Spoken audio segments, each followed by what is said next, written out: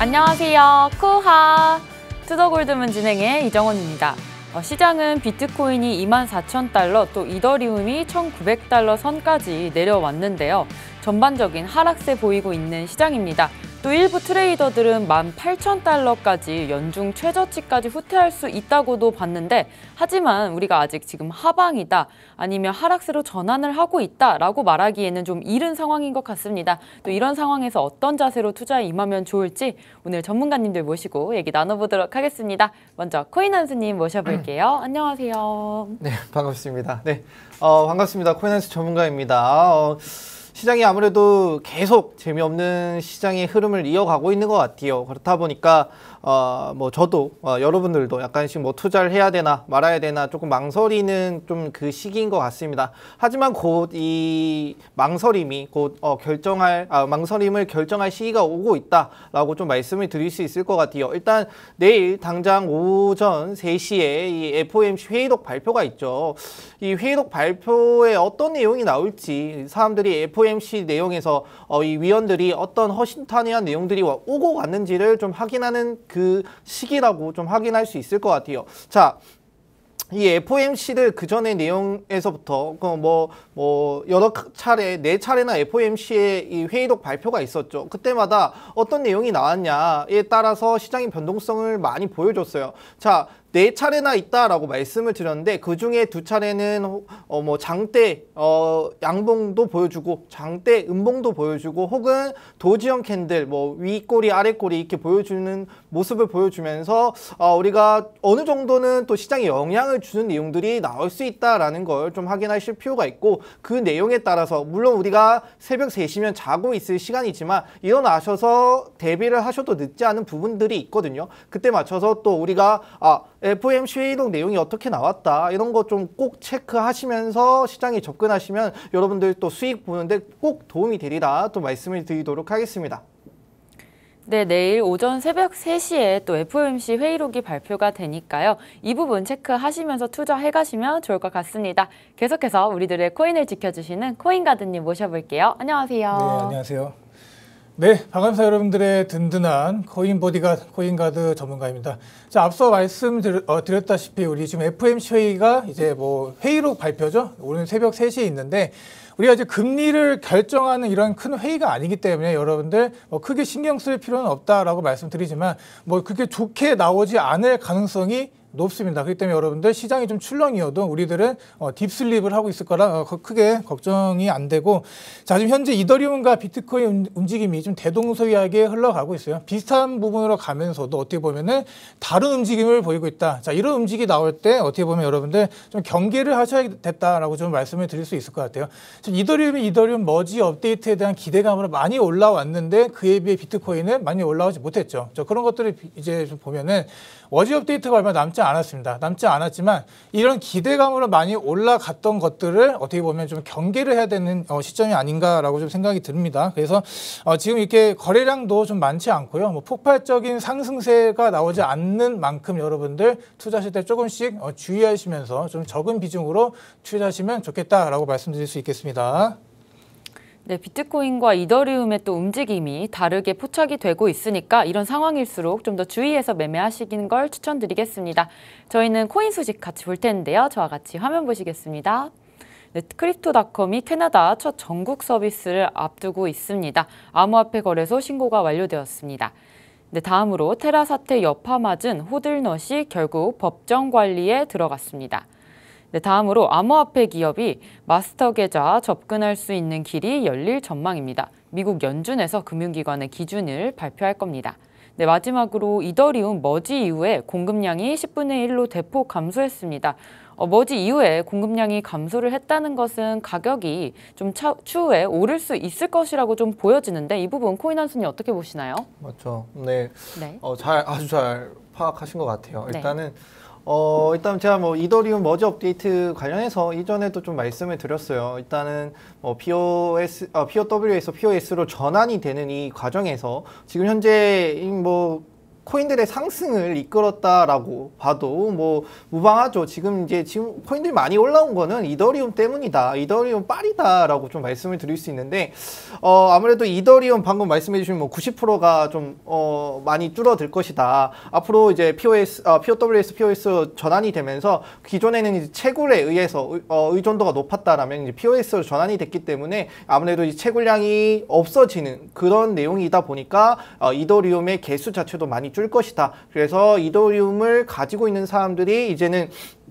인플레이션이 아니라 이제 디플레이션이죠. 오히려 인플, 어, 줄었기 때문에 사람들이 더 이더리움을 갈망하고 이더리움을 더 원하기 때문에 이더리움의 가격 상승이 더 이끌어 갈 수 있는 내용들이다라고 좀 말씀을 드릴 수 있을 것 같아요. 자, 앞으로 이제 9월 달, 어, 9월 뭐 중순 혹은 말에 좀 예정되어 있는 이 머지 업데이트 앞으로 한 달이 남았습니다. 이 한 달 동안 어떤 방향성이 있을지는 모르겠지만 그 부분을 꼭 어, 저희 투더 골드문과 같이 어, 살펴가시면서 투자하시 하시면은 꼭 도움이 되실 것이고 그에 맞게 대응하시길 바라겠습니다. 네.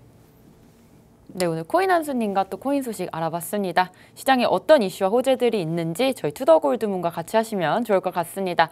저희는 썰전 코너 이어갈 텐데요. 오늘 주제는 바로 비트코인 단기 조정장 체크해야 할 중요 이슈에 대해서 얘기 나눠보도록 하겠습니다.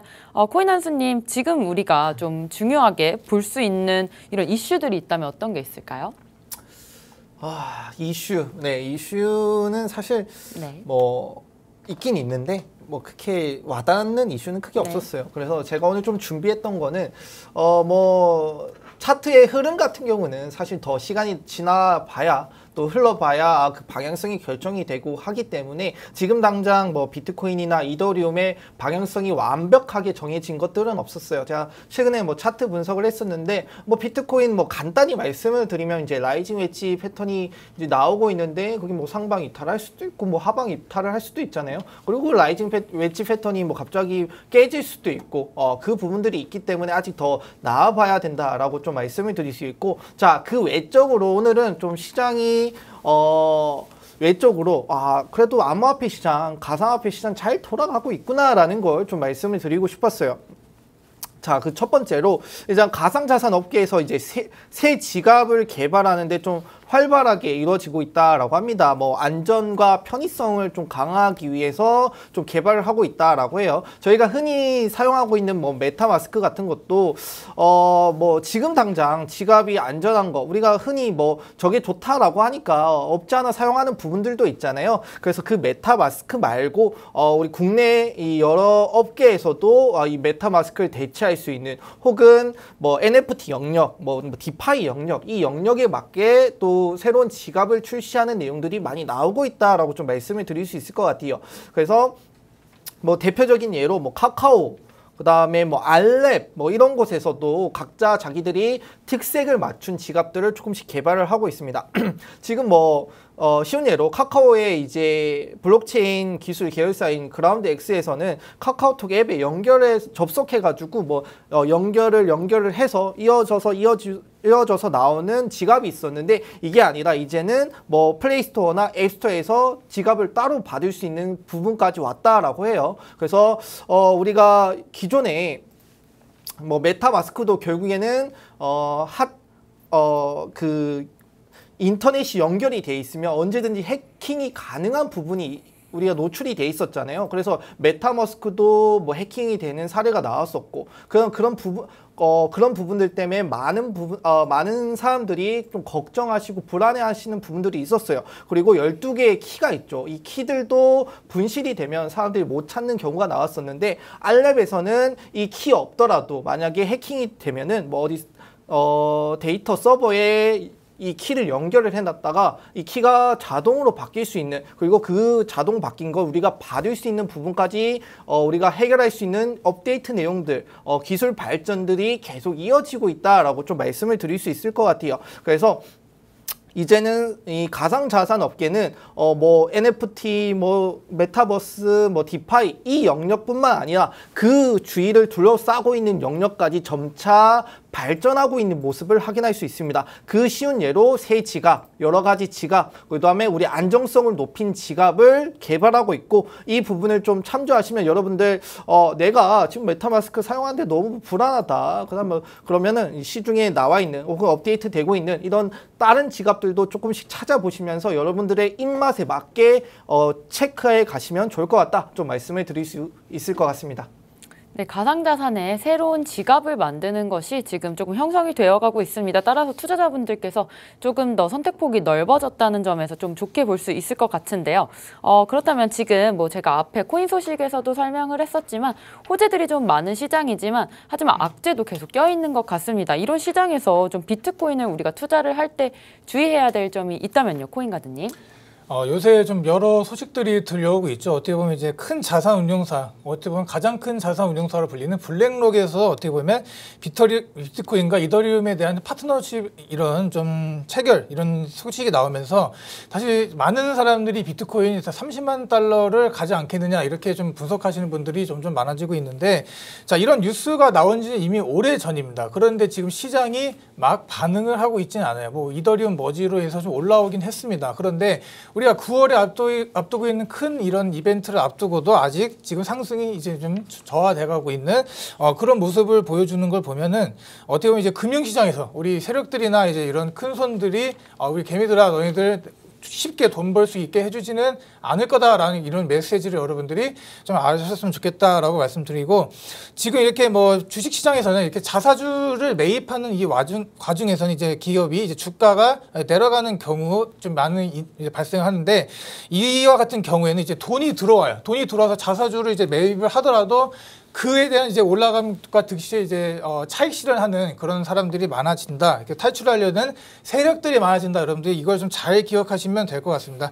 가격이 비싸다고 생각이 되기 때문이에요. 예, 그렇기 때문에 이제 뭐 남들이 이제 알아차기 전에 자신이 갖고 있는 물량을 털어내야지 이제 수익을 볼 수가 있기 때문에 그렇게 지금 어, 어떻게 보면 코인 시장이 조금은 비슷하게 흘러가는 단계가 아닌가라고 좀 말씀드리고 자 우리가 비트코인 이제 가격 예측 이제 특히나 이제 비관론자의 좀 말을 들어보면 어, 어떻게 보면 이제 천만 원까지 내려간다는 사람도 있습니다. 천만 원까지 내려가고 우리가 또 긍정론자들의 말이 들어보면 어, 그러니까 최저와 최고를 잡아봤을 때 1억 3천과 천만 원이라는 거예요. 그 사이 갭이 엄청나게 크잖아요. 근데 우리는 지금 비트코인 보면은 어, 3,200만 원 선에 지금 위치해 있는 만큼 우리가 이제 천만 원을 보고 이 방송을 보시는 분들은 별로 없을 거라고 생각해요. 물론 이제 많이 내려가서 trader적 관점으로 봤을 때 아 내가 이제 천만 원까지 내려가면 이제 주서야겠다 많이 이제 매집을 해야겠다라는 분들을 제외하고는 대부분의 사람들이 1억 3천이라는 view를 보고 계실 겁니다. 예, 저 역시 어, 우리 1억 3천이라는 view에 어, 투표를 한 장 어, 보내도록 하고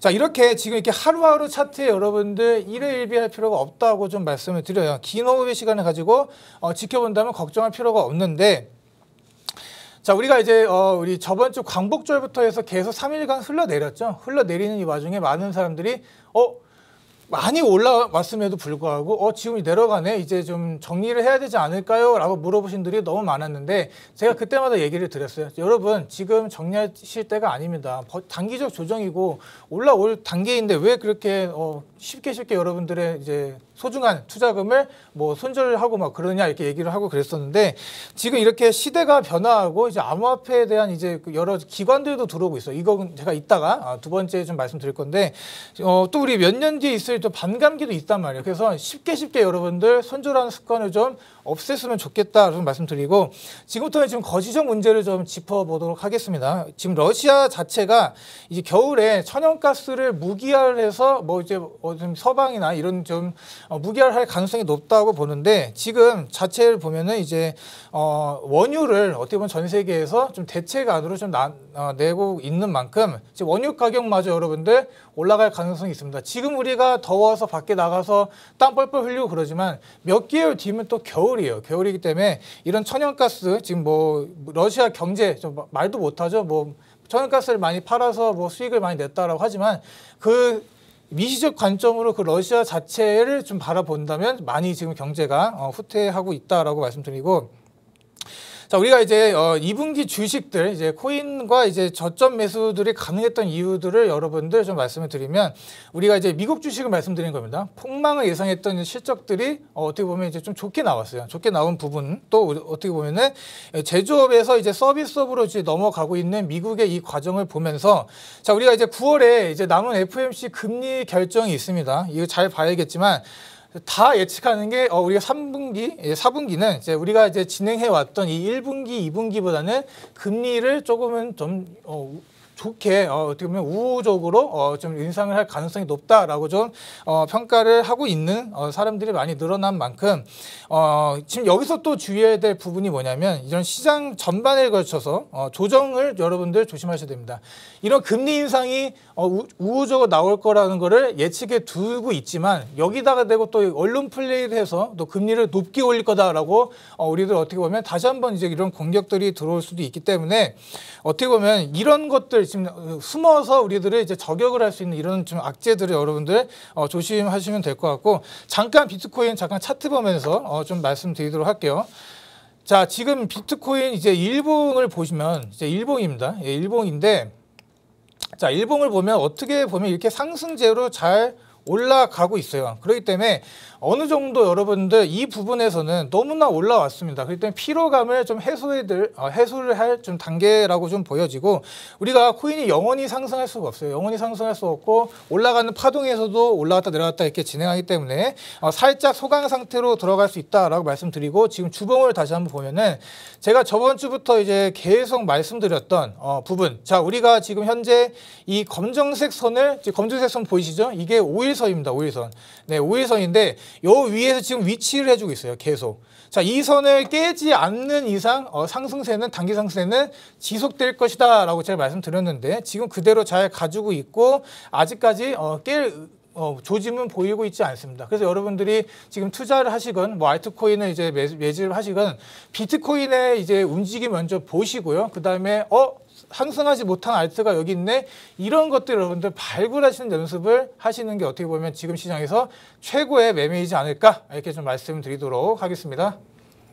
네, 여러 호재와 악재가 많이 겹친 상황에서 또 일희일비하지 마시고 또 차트가 움직이는 것에 대해서 좀 대응을 하셨으면 좋겠습니다. 아무래도 좀 저점을 높여가면서 비트코인이 상승을 했었기 때문에 어, 단기 하락이 나올 수도 있다는 점, 또 조정도 가능하다는 점 짚어주셨고요. 어, 계속해서 우리가 또 중국과 대만의 정치적 싸움을 얘기를 안 할 수가 없을 것 같은데 이런 정치적 싸움이 또 디지털까지로 좀 옮겨지는 것 같습니다. 대만이 그럼 중국한테 어떻게 맞서고 있는 걸까요? 어 일단은 그 대만이랑 중국 뭐 중국 같은 경우는 대만을 좀 자기 땅으로 다시 복속 시키기 위해서 좀 많이 노력을 하고 있어요. 그래서 뭐, 뭐, 이제 완전 티를 내고 있죠. 뭐, 그냥 완전 뭐 옛날부터 대만은 우리 땅이다. 이렇게 하면서 국제사회에다가, 어, 이렇게 뭐 떵떵거리면서 얘기를 하고 있는데, 최근에 이제 미국 그 이제 펠로시 미 하원 의장이 대만에 방문을 함으로써 이게 또 불씨가 더 커졌다라고 좀 말씀을 드릴 수 있을 것 같아요. 근데 여기서 중점이 뭐냐면은 뭐 대만과 중국 싸우는 거 알겠어. 그다음에 미국과 미국이 뭐 대만에 간 거 알겠어. 근데 이게 뭐 암호화폐랑 뭔 상관이야라고 일단 가장 좀 궁금해하실 것 같아요. 뭐 그냥 정치적인 이슈니까 뭐 시장의 흐름에 영향을 줄 수 있다라고 저는 좀 생각은 하는데 근데 이게 무슨 내용인데 이걸 가져왔어라고 하면은.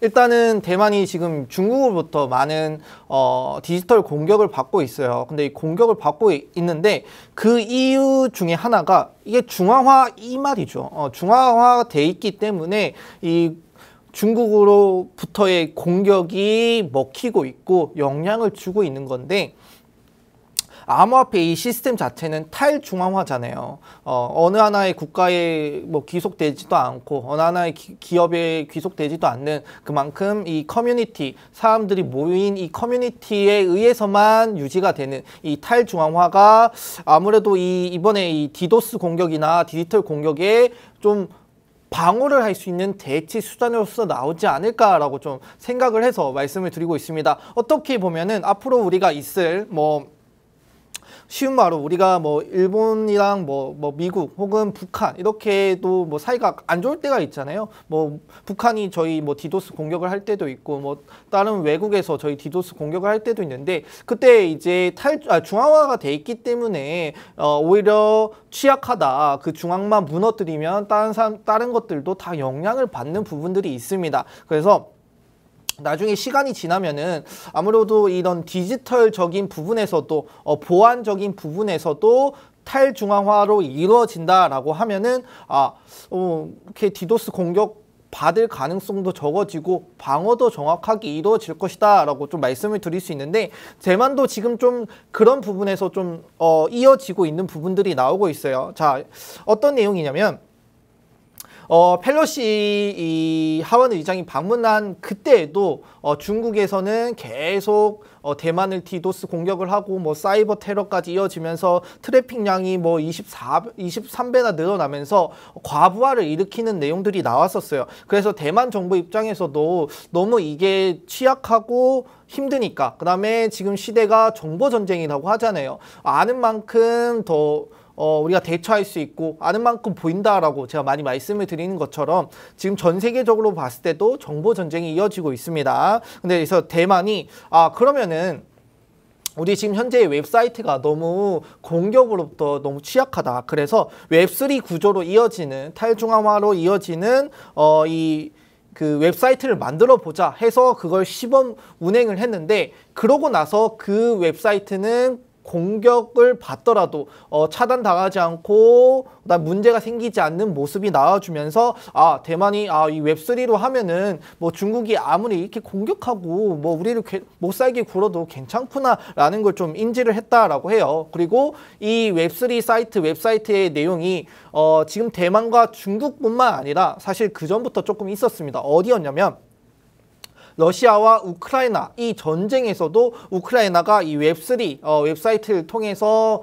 아, 이 암호화폐를 통해 뭐 기부를 받든 정보를 받든 이런 흐름들이 거기서부터 이어졌던 것들이 이제 대만에서 까지 이어지는 모습을 보여주면서 아 암호화폐가 나중에 시간이 흐르고 흐르면은 어, 정말 이 보안성이 뛰어나다 안정성이 뛰어나다라는 장점이 부각되는 그런 부분들이 있을 거예요. 그렇다 보니까 지금 당장은 사람들이 못 믿고 뭐 탈중앙화가 아니다 뭐 탈중앙화다 뭐 이렇게 뭐 서로 어 치고 받고 싸우는 모습을 보여주고 있는데 정확한 이렇게 좋은 사례들이 하나 둘씩 나오면은 미래에 갔을 때는 사람들이 안 쓰고 싶어도 안 쓸 수 없는 부분들이 꼭 나올 것이다. 아, 그렇게 되면은 암호화폐, 이 가상화폐가 꼭 쓰여질 것이고, 그 다음에 이제 전통 금융과 이 가상화폐의 금융이 정확하게 구분이 되면서 서로의 장점과 단점이 나타나는 그 시점이 올 거예요. 그러면은 아 가상화폐를 사람들이 생각을 할 겁니다. 아 버릴 수가 없겠구나, 놓칠 수 없겠구나라는 부분들이 꼭 나올 거예요. 그래서 저는 항상 많은 사람들한테 말씀을 드립니다. 어떻게 말씀을 드리냐? 어, 가상화폐가 앞으로의 미래다. 미래다. 암호화폐는 어, 미래에 갈수록 뗄래야 뗄 수 없는 꼭 필요한 존재다라고 말씀을 드립니다. 현재 여러분들은 그 시장에 들어와 있고 많은 내용들을 가져가시고 있습니다. 그렇다는 뜻은 선점을 하고 있다라는 뜻이고 저희 투도 골드문과 또 많이 이어져 가신다라면은 그 선점하는 내용이 많아질 것이고 여러분들의 어, 이 지식 또한 늘 것이니까 여러분들의 수익 꼭 볼 수 있을 거라 말씀을 드리도록 하겠습니다. 네, 이런 디지털 전쟁 상황에서도 우리 암호화폐를 좀 돌파구로 찾을 수가 있을 것 같습니다. 어, 그렇다면 어제 또 초아 전문가님께서 얘기를 하셨었는데 기관이 좀 들어와야지 비트코인이 상승할 수 있는 힘이 있을 거라고 하셨어요. 지금 기관의 진입 경로가 조금 궁금한데 코인가드님 좀 알려주시죠.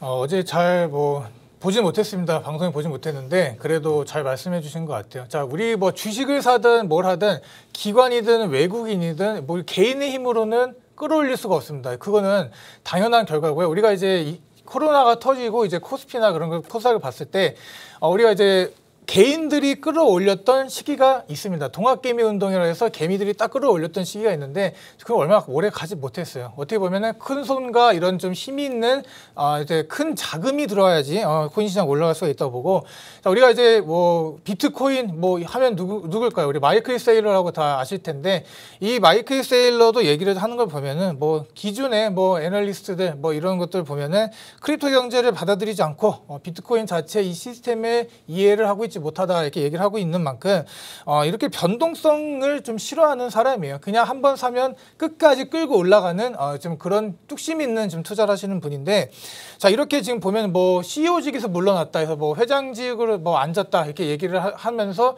어 뭐 포기하는 거 아니냐 하신 분도 있는데 아니죠. 지금 이제 본인은 이제 점, 점점 더 이제 이 비트코인에 대한 좀 그런 신뢰도를 더 늘려갈 생각이다 이렇게 회장직을 하면서 어, 그렇게 좀 마, 여러분들도 아셔, 아시면 될 것 같고 그 계속 말을 하는 게 뭐냐면 바닥을 쳤다입니다. 마이클 세일러 하는 게 뭐냐면 바닥을 쳤다 이런 얘기를 하는데 우리가 그러면 이 사람 말을 그대로 믿고 여기서 그냥 full seed를 다 때려 넣어야 될까요? 라고 말하면 당연히 아니라고 말하죠.